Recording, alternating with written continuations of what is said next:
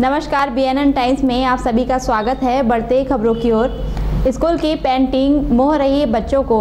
ज़िले की बिरसा विकासखंड अंतर्गत एक प्राथमिक शाला के प्रधान पाठक ने कोरोना काल के समय का सदुपयोग किया और स्कूल में स्वयं के पैसों से स्कूल की पेंटिंग करवा दी, जिससे कि बच्चों को मनोरंजन के साथ पढ़ाई भी हो सके, जो पेंटिंग बच्चों को मोह रही है। आपको बता दें कि ग्राम कोकाटोला में कोरोना काल की पहली व दूसरी लहर से शासकीय प्राथमिक स्कूल बंद रही, जिससे समय का सदुपयोग कर प्रधान पाठक सरवन कुमार मेसराम ने अपने खर्चों से स्कूल में बाग मोर कमल सहित अन्य प्रकार की पेंटिंग करवा डाली, ताकि स्कूल प्रारंभ होने पर बच्चे पेंटिंग देखकर उन्हें पढ़ने में सहूलियत हो सके।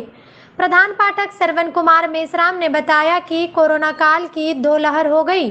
स्कूल बंद था, इसके लिए स्कूल में पेंटिंग करवाई गई। पेंटिंग को देखकर पढ़ पाएँगे बच्चे।